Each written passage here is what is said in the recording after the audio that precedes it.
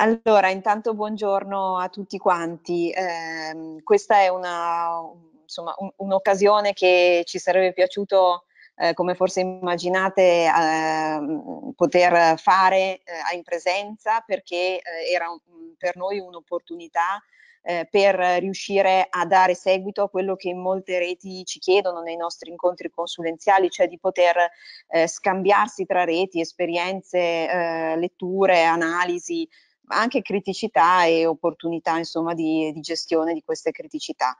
Eh, siamo un po' così costretti insomma, all'interno di questo strumento che invece poco agevola ecco, il portare fino in fondo questa eh, opportunità laboratoriale eh, vorrei però sottolineare che insomma, eh, dei, mh, i partecipanti a questo laboratorio eh, abbiamo visto le iscrizioni e rappresentano sicuramente una, eh, un gruppo molto ricco e, e molto eterogeneo di, eh, di, competenze, di ambiti, di professionalità, eh, sia della pubblica amministrazione che del terzo settore. E quindi ci, ci piacerebbe moltissimo insomma, di, di poter ehm, raccogliere costantemente il vostro contributo e di prendere, continuare a prenderla come un'occasione eh, di scambio per quanto insomma più, più, complessa di quello che sarebbe stato in presenza. Ehm, co come potete vedere dalla slide, eh, questo laboratorio appunto eh, ha come suo focus i cicli di, mh, di coprogrammazione e coprogettazione del welfare di comunità, eh, tra le reti locali, quindi eh, molte parole eh, molto ricche e pregnanti. Eh, in particolare questo nostro eh, primo momento va ad affondare l'attenzione la, rispetto agli strumenti di, di, metodo e di governance per la gestione di questi macro processi. Eh, quindi eh, andremo a, ad offrire insomma eh, innanzitutto alcuni elementi di quella che è la cornice eh, di riferimento normativa eh, in cui eh, si vanno ad inserire questi processi di coprogrammazione e coprogettazione, ma solamente come eh, diciamo riferimento generale eh, che poi ci aiuta invece a ragionare su eh, quale, quale cultura di fondo, quale metodologia di gestione ci consente di rendere attuativa quella, quella cornice normativa. C'è stato prima di questo, forse Nicola ha detto, mi scuso se ripeto cose già dette, un laboratorio che ha affrontato specificatamente il tema della cornice normativa, eh, c'è un ebook eh, molto interessante, anche molto, molto, preciso, molto approfondito, per cui ecco, vi, vi proporrei su aspetti legati alla normativa eh, di eh, non porre oggi l'attenzione, ma di utilizzare questa fonte eh, di conoscenza ormai a disposizione di tutti quanti perché su strategie amministrative la potete trovare, compresi i video dei, dei docenti che sono intervenuti. Ehm, quindi ecco, mh, mm, eh, proviamo ad offrire la cornice, per quanto la nostra parola d'ordine riprendendo eh, quello che, mh, mm, che, una dirigente insomma, di, di, servizi sociali di un comune mm, grosso della provincia di Milano diceva eh, è meglio un appalto fatte, fatto bene che una coprogettazione fatta male, a richiamare proprio eh, l'importanza e di padroneggiare la cornice normativa e soprattutto di padroneggiare un metodo di lavoro, un modo di lavorare. Eh, quindi quali sono i, i nostri, qual è la nostra cornice. Eh, si parla di lavoro di rete, mh, anche la, la, legge regionale insomma, parla di eh, governo delle reti, eh, quello eh, su cui però questo lavoro di rete va ad insistere come principi fondamentali è il principio di sussidiarietà che ha una storia, eh, di, una storia lunga di sviluppo nei, negli ultimi decenni. Eh, nella, nel TUEL, nel testo unico degli enti locali, si riporta che i comuni e le province svolgono le loro funzioni, come leggete, attraverso attività adeguatamente esercitate dall'autonoma iniziativa dei cittadini e delle loro formazioni sociali. Eh, c'è la 328, la legge quadro, eh, che, che eh, dice che eh, alla, alla, gestione e all'offerta dei servizi evidenzia che provvedono i soggetti pubblici, ma evidenzia anche come soggetti attivi nella progettazione e realizzazione degli interventi una serie di organismi che eh, sono ora compresi dopo la riforma del terzo settore nei cosiddetti enti del terzo settore ETS. Ehm, e ehm, eh, il, il, sistema integrato di, di, interventi e servizi, dice la legge la, la 328, ha anche tra i suoi scopi la promozione della solidarietà sociale, con la valorizzazione delle iniziative delle persone e della solidarietà organizzata. Eh, c'è la riforma eh, del titolo quinto della Costituzione la, all'articolo 118 che eh, recita che lo Stato, le regioni, le città metropolitane, le province e i comuni favoriscono l'autonoma iniziativa dei cittadini, singoli associati, per lo svolgimento di attività di interesse generale sulla base del principio di sussidiarietà. Ehm, quindi tutto questo ha poi portato eh, per, per, poter dare solidità a questa interazione, cornice a questa interazione eh, tra eh, la pubblica amministrazione e gli altri soggetti che si occupano, eh, che sono aggregazioni di cittadini che si occupano di solidarietà organizzata, come, dice, come dicono le norme, eh, e in applicazione del principio di sussidiarietà è, stato, eh, è nato nel 2017 il, giuridicamente il terzo settore. Eh, riprendiamo l'articolo 2 che dice che è riconosciuto il valore e la funzione sociale degli enti del terzo settore, dell'associazionismo, dell'attività di volontariato, della cultura della pratica del dono, quali espressione di partecipazione, solidarietà e pluralismo e ne è promosso lo sviluppo salvaguardandone spontaneità e autonomia e ne è favorito l'apporto originale per il perseguimento di finalità civiche, solidaristiche e di utilità sociale, anche mediante forme di collaborazione con lo Stato, le regioni, le province autonome e gli enti locali. Il terzo settore quindi non ha come suo, già emerge da questo eh, articolo, che non ha come suo riferimento unico e, ed elettivo la pubblica amministrazione, ma eh, la sua collaborazione ehm, con Stato, regioni, province autonome ed enti locali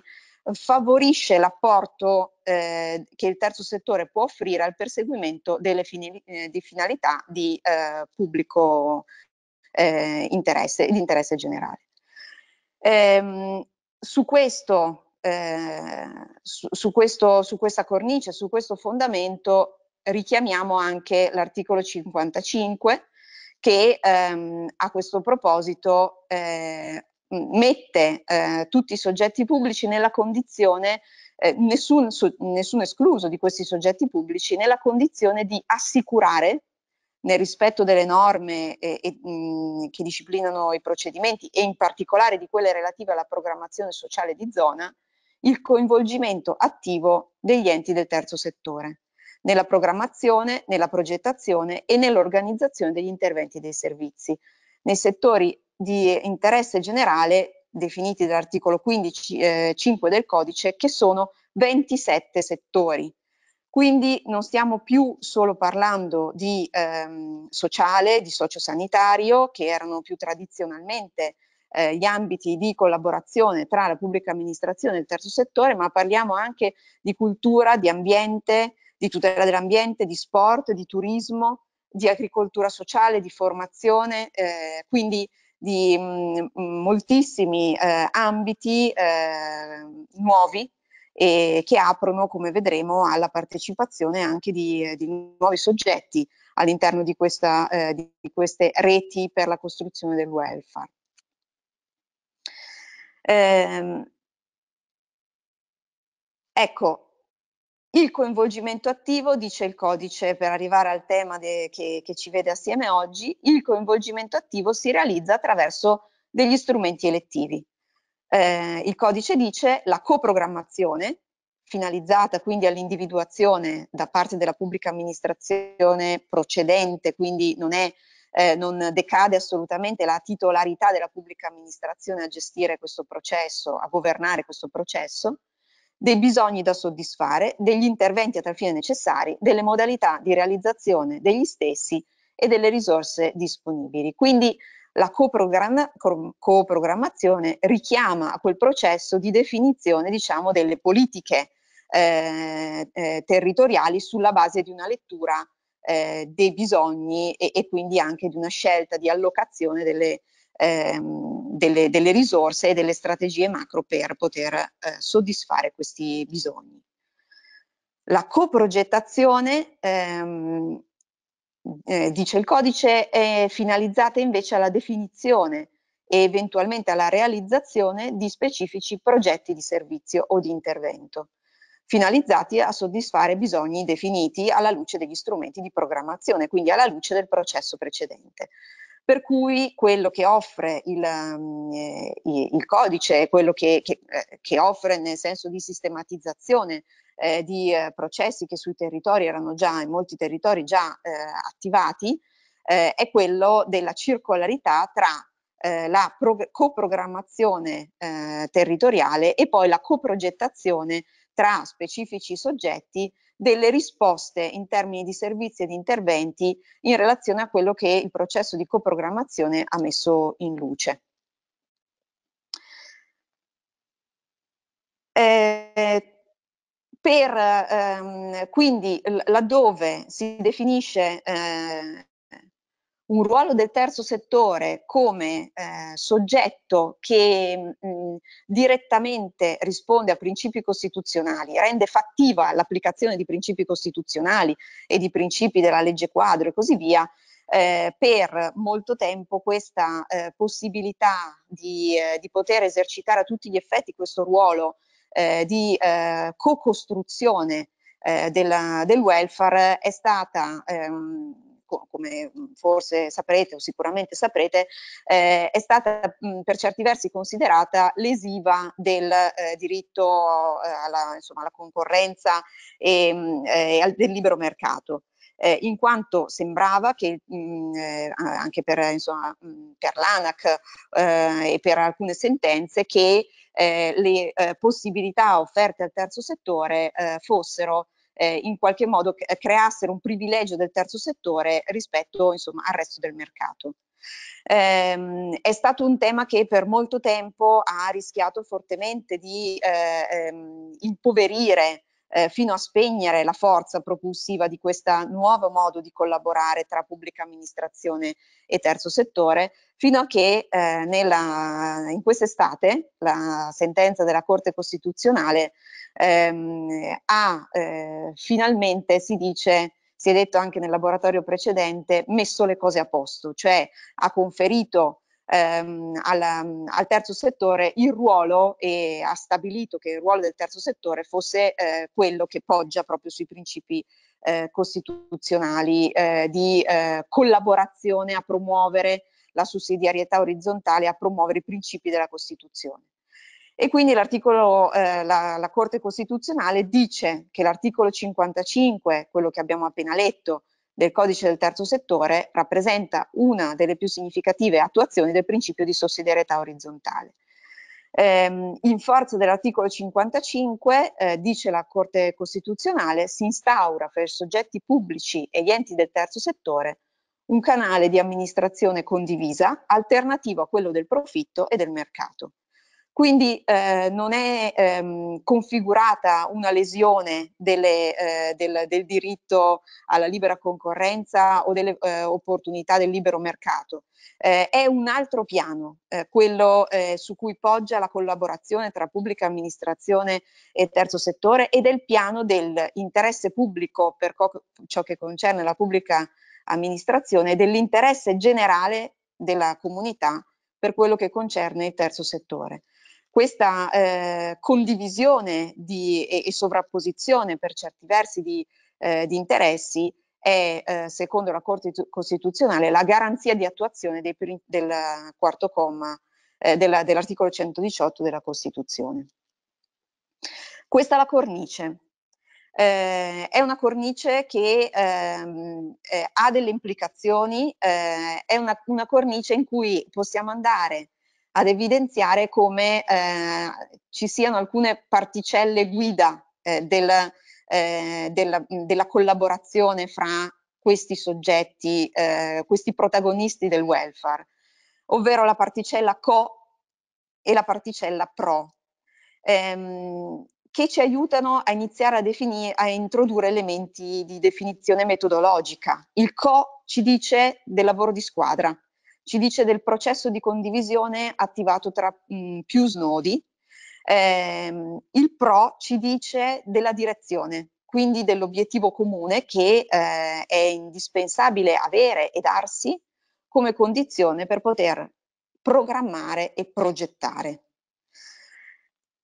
Ecco quindi che ehm, eh, quello che la, la, la cornice ehm, normativa ci mette a disposizione eh, è ehm, sostanzialmente il, ehm, eh, il, fondare su un riferimento terzo quello che ormai era un'esigenza molto forte della, della comunità eh, e del di, dei sistemi di welfare, ovvero eh, l'esigenza proprio di uno scarto di paradigma. Per l'ente pubblico eh, forse siamo un po' avanti, Chiara, rispetto alle slide. Sì, perdonate, è partita una condivisione ma su uno scambio, cioè senza più la possibilità di governare, quindi sto cercando di risolvere. Eh, guarda Chiara, ho salvato un PDF su suggerimento allora, del dottor Simonetta, tolgo, quindi ecco, è eh, meglio che... Tolgo e metto la condivisione del Esattamente, PDF. sì, perché altrimenti certo, certo. È, è faticoso per i partecipanti seguire.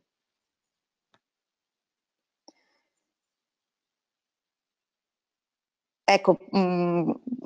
provo a procedere, poi lo vedrete insomma nelle, eh, quando, quando, Chiara riesce a reinserire. Eh, eh, innanzitutto per l'ente pubblico uno scarto, uno scarto dal dovere di coinvolgimento del privato nell'erogazione eh, dei servizi